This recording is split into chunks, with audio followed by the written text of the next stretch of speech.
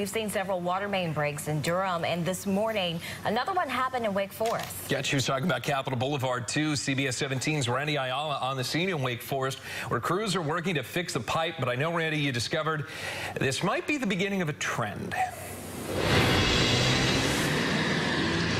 That is exactly right, Bill and Felicia. Well, crews behind me have been working for several hours to get this water main on West Cedar Avenue back up and running, but it's not the only one today. We're also told a pipe burst on Raleigh Boulevard in Millbank. Sorry about that beeping horn. Take a look at this video. We gathered earlier a portion of West Cedar Avenue from North Wingate Street to North College Street shut down while crews try to get it under control. Ed Buchan with Raleigh Water says cold weather is likely the culprit especially a big change in temperature. So you go from the 40s or 50s during the day and then sometimes drop into the, the mid 20s at night.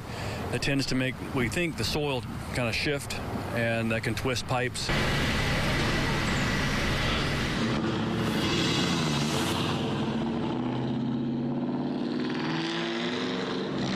Buchan also says if you see one, stay clear.